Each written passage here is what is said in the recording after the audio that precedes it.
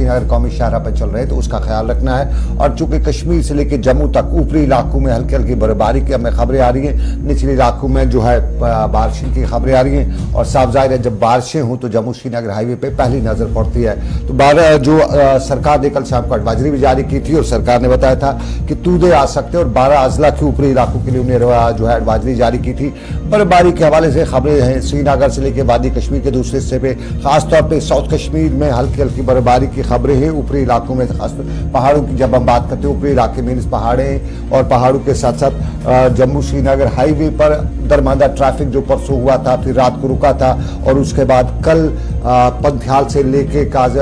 बानिहाल तक जो सिचुएशन बनी थी, उसमें हाईवे को कहीं ना कहीं थ्रू करने की कोशिश की गई थी और उस थ्रू करने के बाद आ, कल दरमादा मुसाफिरों को किसी तक निकालने की कोशिश की गई। लेकिन अभी भी जो है ट्रैफ़िक में जो इस हाईवे पे बड़ी तादाद में लोग फंसे हैं ड्राइवर हैं कंडक्टर हजरात हैं और करीबन आठ हज़ार के करीब जो लोग हैं जो, जो जम्मू से श्रीनगर का जो हाईवे है उस पर फंसे ताज़ा तस्वीरें भी बनिहाल रामबन बिल्कुल आरिफ ये आरिफ वहीद ने हमें तस्वीर भेजी है लेटेस्ट विजुअल्स हैं। नेशनल हाईवे के और नेशनल हाईवे के आसपास, बानिहाल के ऊपरी इलाकों में जिस वक्त कुछ हल्की फल्की बर्फबारी हो रही है और बानिहाल के बीच में भी, बाज़ार में भी जिस आरिफ बता रहे हैं हमें कि वहाँ पे भी हो रही है और रामबन के आसपास के इलाकों में भी बर्फबारी हुई। ये तस्वीर जो है, ये कुछ पुरानी, कुछ नई मिक्स एटमॉस्फेयर उस मिक्स एटमॉस्फेयर में ये पहाड़ी इलाकों की तस्वीर हैं और उसके साथ साथ ये जम्मू श्रीनगर नेशनल हाईवे की भी कुछ तस्वीर हम दिखाते रहते हैं और फिर बानिहाल से लेके बारामूला तक वादी कश्मीर में जो बर्फ़ पड़ी अब की बार उससे एक उम्मीद जागी है। हम यही कह सकते हैं, उससे उम्मीद जागी आरिफ, वहीद हमें ज्वाइन कर चुके हैं जम्मू श्रीनगर नेशनल हाईवे, बानिहाल से। आरिफ, बताइए, ताज़ा तरीन सिचुएशन आपने बताया, बर्फ़ पड़ रही है तो कैसी है कहाँ कहाँ बर्फ़ पड़ रही है, कितना खूबसूरत नज़ारा है बर्फ़ पड़ने का? क्योंकि बाद में बात करेंगे हम कि परेशानियाँ भी होती हैं, लेकिन पहले कुछ अच्छा ही दिखाएँ अपने नाजरीन को। जी बिल्कुल सनम सर मैं आपको बताता चलूँ कि जिस तरह से कल दिन में भी जो है मौसम अबुरालू था, था और इसके साथ में अगर देखें तो रात भर जो है हल्की सी बर्फबारी जो है बानियाल और पीर पंचाल के सेक्टर में जो है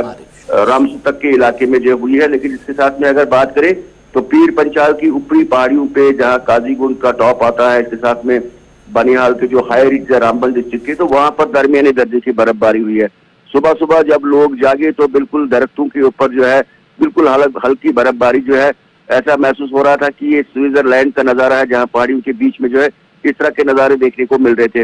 लेकिन कहीं ना कहीं ट्रैफ़िक रेगुलेशन के हवाले से अगर बात करें तो इसमें आज जो है, राहत फिर से है पैसेंजर्स के लिए कि आज जम्मू श्रीनगर कौमी शाहरा पे दोनों तरफ़ से छोटी गाड़ियों को चलने की इजाज़त दी जाएगी। रात भर जो है काजीगुंड से सुबह तीन बजे तक जो है, सुबह मॉर्निंग तक जो है श्रीनगर से बड़ी गाड़ियों को जम्मू की ओर चलने की इजाज़त दे दी गई। छोटी गाड़ियाँ की आवाजाही जो है समय शाहरा पे जारी है और इस बाद में दोपहर के बाद जम्मू से यानी उधमपुर से बड़ी गाड़ियों को वादी की ओर चलने की इजाज़त दी जाएगी। लेकिन सुबह के मुकाबले में इस वक्त बात करें तो मौसम में हल्का सा सुधार जो है बिल्कुल थोड़ी सी धूप जो है वो खिलती हुई नज़र आ रही है और जिससे बिल्कुल एटमॉस्फेयर में जो है एक बेहतरी और खूबसूरती देखने को मिल रही है। दोबारा खोला गया था। हल्की बर्फबारी का मतलब क्या समझें कि दोबारा ट्रैफ़िक मुतासर हो सकता है? ऐसे इम्कान हैं। अभी तो ट्रैफ़िक चल रहा है। आज एडवाइजरी भी दोनों तरफ़ से है कि गाड़ियाँ चलेंगी। लेकिन अगर इसी तरीके से सिचुएशन रही, थोड़ा बहुत खराब मौसम तो क्या वो पंथियाल या रामबन के आसपास जो खतरात हैं, वो अभी भी बरकरार है? जी, बिल्कुल। आसिफ, जम्मू श्रीनगर नेशनल हाईवे के ऊपर जिस तरह से ट्रैफ़िक प्लान मुरतब किया जाता है तो ये कोई परमानेंट मिसाल के तौर पर कोई प्लान नहीं होता है। इसमें वेरिएशन जो है वो दिन में कभी भी हो सकती है और जिस तरह से अभी भी मौसम के मिजाज जो है उस तरह के बेहतर नहीं है। अगर हल्की सी बारिशें होती है तो पैंतीहाल में जो है परेशानियाँ हो सकती है क्योंकि पैंतीहाल में पहले एक ही रिज के ज़रिए जो है शूटिंग स्टून का वो सिपल जो है वो देखने को मिल रहा था बारिश में। लेकिन जिस तरह से पिछले दस दिनों से हम देख रहे हैं कि एक दूसरे एंड से यानी पहले सिटील टनल के बिल्कुल टूवर्ड जम्मू साइड में जो है, उस रिज पे पत्थर गिरना का सिलसिला शुरू होता था। आज बनिहाल साइड से जो है, एक वो बिल्कुल नाली के मानन जो है, वो एक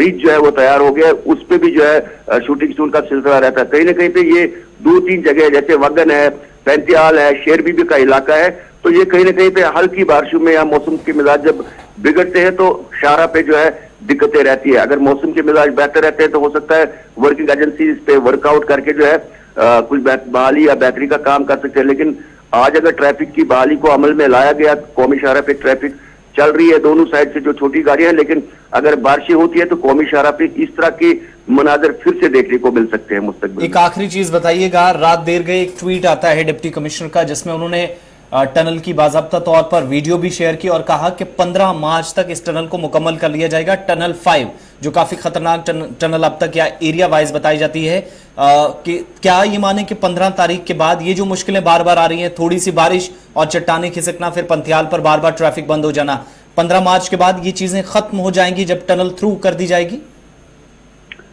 बिल्कुल आसिफ मैं आपको बताने की कोशिश करूँगा कि पेंतिहाल में पहले भी एक जो टनल बनाई गई है हालाँकि स्लाइड वाले पोर्शन से मतलब टूवर्ड जम्मू यानी इस। ट्रेन को छोड़कर लेकिन उसके बाद अगर देखें अगर ये टनल मुकम्मल होती है तो उसके बावजूद भी चूँकि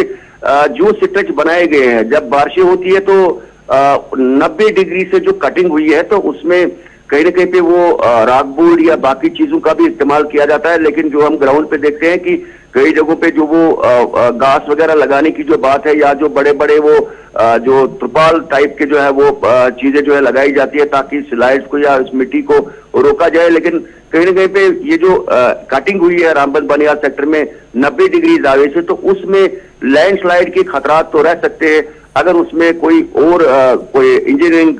कोई विंग से जो है कोई अगर बैटरी न लाई गई तो परेशानी जो है बारिशों में रह सकती है रामबंद बनिया से। आरिफ ये टनल फाइव है कौन सी है? यूजुअली हम इस शाहरा पे सफ़र करते हैं तो पता नहीं चलता है कि ये कहाँ पे बन रही है टनल फाइव क्या आइडिया कुछ दे सकते हैं कहाँ पे बन रही है टनल फाइव बिल्कुल सर, ये पैंतीहाल और इसके रामसू के बीच में जो है टनल फाइव है क्योंकि पहले जीपीपीएल जो कंपनी है, उसके पास भी एक दो टन है, इसके पास जो सैगल नामी कंपनी है, उनके पास भी एक एक दो टनले हैं, या जो फ्लाईओवर जो है, बिल्कुल नाला बिछड़ी के साथ साथ में तो कहीं ना कहीं पे इन टनल के बनने से तो राहत ज़रूर होगी, लेकिन जहाँ जहाँ पे गाड़ियों को बिल्कुल टनल के बाहर से चलना पड़ता है जिस तरह से रामसू में परसों दो तीन मकान खिसक कर आगे जब इस तरह की कटिंग रहती है तो उसमें बारिशों में जो नरम मिट्टी होती है और पहाड़ काफ़ी ज़्यादा ऊँचे है तो उसमें बोल्डर्स या मिट्टी खिसकने के खतरा जो है लाभ हो सकते हैं। अगर कोई उसका सबस्टूट या कोई ऐसी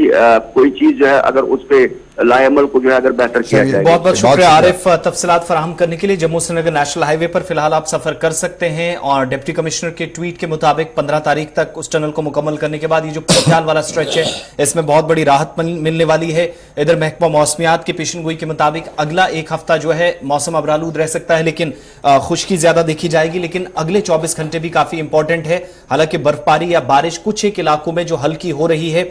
इसके बाद भी जिन इलाकों में ज़्यादा बर्फबारी हुई है वहाँ असर देखा जा सकता है। और बारह अजला जिनमें अनंतनाग, बांडीपुरा, बारामूला गांधरबल कुपवाड़ा कुलगाम, डोडा, किश्तवाड़, पुंछ, राजौरी और रियासी अजला शामिल है। इन बारह अजला के अंदर बर्फानी तोदे गिराने की वार्निंग भी जारी कर दी गई है और 2000 से 25 मीटर के आसपास दरमियानी दर्जे का बर्फानी तोदा गिर सकता है। इस तरह के खतरात हैं। डिजास्टर मैनेजमेंट की तरफ़ से वार्निंग जारी कर, की गई है और लोगों को अवेयर रहने के लिए उन ऊपरी इलाकों में जहाँ पहले भी हमने देखा कि पिछले तीन चार हफ्तों के दौरान अ, कुछ इलाकों में स्लाइड इस तरीके से आई लेकिन अ, अच्छा ये रहा कि नुकसान कोई ज़्यादा नहीं हुआ। गुलमर्ग के एक दो वाकत को छोड़कर लेकिन फिर से वार्निंग जारी हुई है। इस वक्त सर्दी की शिद्दत में फिर से इजाफा देखा जा सकता है इसलिए क्योंकि हल्की बारिश या बर्फबारी